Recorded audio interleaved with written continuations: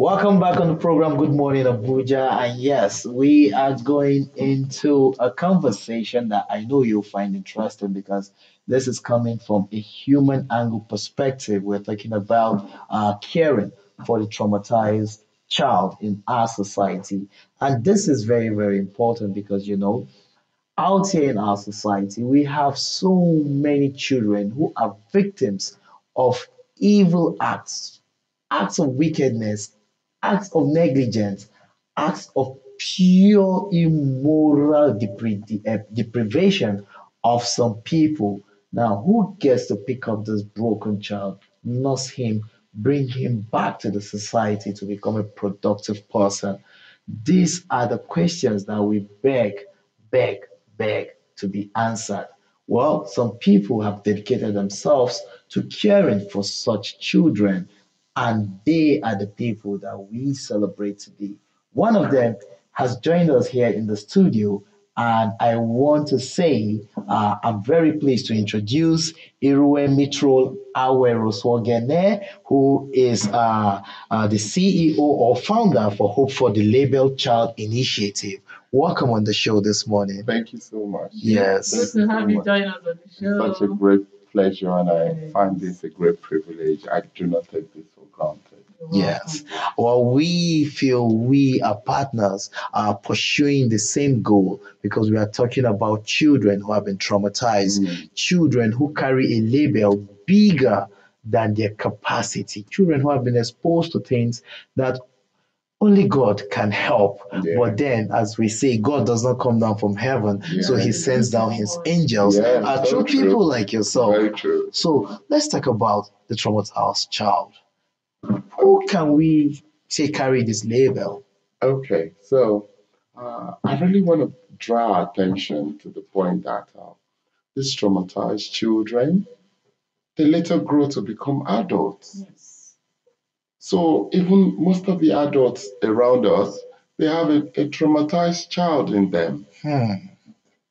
So you see some persons acting out of character, and you like wonder, is it really is it really difficult to do this? This should be common sense.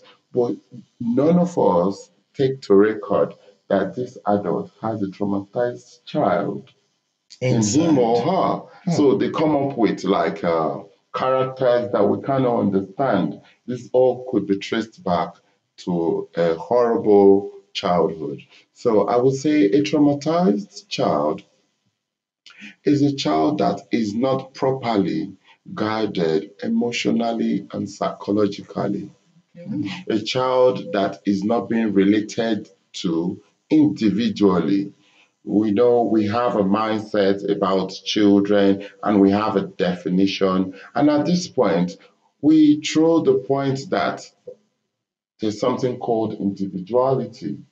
You bring a standard and you lay it on all the kids, not considering their ability and their uniqueness. It's just like getting a snake and uh, a, um, a fish to come on the floor and have a race. Why don't we drop the fish in the river and let the snake go on the, on the, the land? You get what I'm trying to say? Yeah. They're both great, they're unique. Let them be on their own uh, uh, sphere and support them just the way they are. Yeah, so that's what I'll have to say about that. Okay, thank you so much, uh, Mitro. When you were responding, I could see the passion to which you were trying to Mm. respond to how you were caring for these traumatized children. And want to ask, how did you go into bringing all these children together? Do you have a story behind it? Oh, yeah. Okay. I had a very horrible childhood. A childhood that even if the Nollywood should act it, you're gonna say, where did they come from with this storyline? So maybe I should guide the storyline. but I'm gonna tell you, I lost this finger to the experience, and this is one of the least of the things I went through as a child. Hmm. I got to a point where I had no self-esteem everything was gone. I was so dull in school, and this was um, triggered from what I was going through at home. Now I'm talking about advocate for the children because we're still taking it to the society, to the school. Now a child could be going through stuff at home. That's where it's supposed to get support. But at least when the child gets to school, I wish there was a teacher who is like enlightened to help this child in school. Now, when I was a child, like I said, I had a horrible childhood. I was so dull because of how uh, they treated me, lost self esteem. I couldn't even assimilate whatever I was being taught. Now, no one could even relate. No one was coming to my aid. Instead, I was being punished more. We still hear it in school today. Children might fail an assignment, and a teacher will be bullying the child. Listen, you taught me something, I didn't understand it, and you're bullying me for something you didn't do right. Does that make sense at all? So, this is where I'm trying to pull the community and the society, pull their attention to it. Something is going wrong. So, this a child that is sent to the school, like I I was, you should be able to observe. When you go to the studies, you see there's so many materials that have been given to teachers to understand the behavior and the character of a child, learning disability and all of that. So getting to understand this will help this child. I went through things at home and also came to school. I was going through things again. I went to the society, maybe I go to the playground, Same thing. same thing. So there's no help anywhere. And uh, all of a sudden, when I start exhibiting new character, then I'm being labeled. You can imagine maybe I was beaten at home mercilessly and I get to school and I'm not being active in class. Instead of the teacher to come around and say, Oh, what's the problem? Shall we do this? Instead, the teacher is going to say, I am dull. Add more to it. Yes. So this is where I'm coming from. So it's coming from a place of a personal experience. So I, I other people might be coming from the place of research, but I'm coming with a whole lot of personal experience. I hope you understand what I'm trying to explain do. here. We do, we do. And this is really, really, as you were uh, speaking and talking about what you had to go through, I could only imagine in my head uh, what this experience could be, especially when we look around our society and we say we're in the 21st century, Yes. and yet these things are still prevalent. Every day we get to hear stories of an abused child, either as, as a help or as a, a, a, a cousin, nephew, Mhm. niece, staying with a different family, or some even directly to their own children. Just like Yes, mine, mine and- was with my mom and, and my siblings. That was where I was going through all of this torture. So, so you can you can imagine that we are in this generation and this is happening. Now, the work you do, it's very important because you are coming from a place where you have to experience this, Mm. and now you are out here trying to be the this, the, the, the, the change agent Yeah. that uh, balances things that okay no matter what you are going through there's someone to talk to Yeah. so that we could get you back on track Yeah. now relate with us what your experiences with the children you've had to encounter has been like Okay, yeah, that's a good one. I'm going to say some of the children we have to go extra length to make them know that what you're going through is actually a trauma.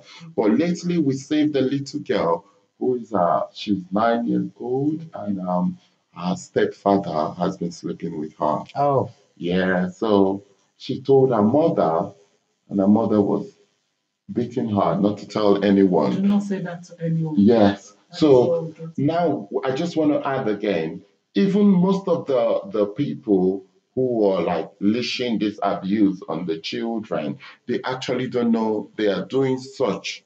They're doing it from a foolish place, not necessarily from a wicked place. And this is where we come in to educate the public. This is one of the things that make Hope for the Label Child stand out from other uh, NGO. We educate the public, create awareness, create the dangers around it. Yeah, so this really help us and bring the the work we do on the children a little bit unique and different. What wonderful Who work. else? I, I, there's so much. There's so much uh, around this discussion that there's so much to discuss on this uh, on on uh, caring for the traumatized child. Unfortunately, uh, we are running out of time. But very quickly, I would like you to just throw us pointers now. Now, what should we look for? And when we do look for those things, what should we do, especially as regards, say, maybe I'm a passerby and I do see a traumatized child. What should I do? I really want to thank you for this question because I've really been praying you asked me this question. One of the major things you should look out for once you see a child behaving in a weird, any form of weird manner, no matter how it is, do not ever label it. The first thing you should do uh, approach this child in a loving manner, no matter how horrible or nasty that child is behaving. Make sure the first of all, you have to validate that child's feeling. No matter how weird the feeling is, you have to validate the child's feeling. Now, validating is not accepting. Validating the child's feeling is like, yes, I see you feel this way. Okay, can we talk about it? and let the child speak. That, that is the only time that you can trace where this is coming from. So when you see a child that is extremely quiet or extremely, uh, no, let's say hyperactive, okay. that is a signal. When the child is extremely quiet, that means the child have gone through a lot and the child is now numb and is like saying, what can the life throw more? What next? what next can come. Now, when you see the child that is hyperactive, the child is trying to protect himself by himself because he has given up on all of the adults around. So I, I, fell into the category of hyperactive. So when my teacher speaks to me in class, um, trust me, this was when I was like 13, 14, you dare not tell me to sit down, even though I have to sit down. Once you say that, I remember everything that is going that I'm going through at home. I, I say it as an attack. Then I, I, I would say, What do you mean I should sit down? Then the teacher will say, Oh, what, what, what sort of child is this? I only say sit down. The teacher doesn't take it to the next level to say, Oh, something is behind this. Yeah, so I think this is two major ones. Just because of time, I'm going to leave this uh, for us now. But I'm sure we have more, and when we have more time or more chance, I can throw more light to it. Thank you so much yeah. for your time with us this morning, and it's a great job you are doing Thank you out so there, much. caring for the traumatized children. We thank you so thank much. You thank you so much. Right. Thank you so much. Okay, yeah. we've been talking about caring for the traumatized children, and our guest this morning has talked to us passionately about it. We could all see the, the passion to which he talked to us about how it is a it's all our collective responsibility to care for any child that is traumatized, any child that is withdrawn, any child that is hyperactive, it is your responsibility and it is also my responsibility to take note and care for them. Yes, we've been talking with Mithro. Always so again. Yes, sorry yes, for mother. Thank you so much. Thank you You've for done so well. what you're doing, and thank you again for coming on the show. Thank you for coming on the show. so much. Yes. Such a privilege. Yes. Thank you so much. I really appreciate it. You're welcome. Yeah. So the program is Good Morning Abuja. We're going to go on this quick break. When we come back, we have a lot for you, like I said. Don't go anywhere.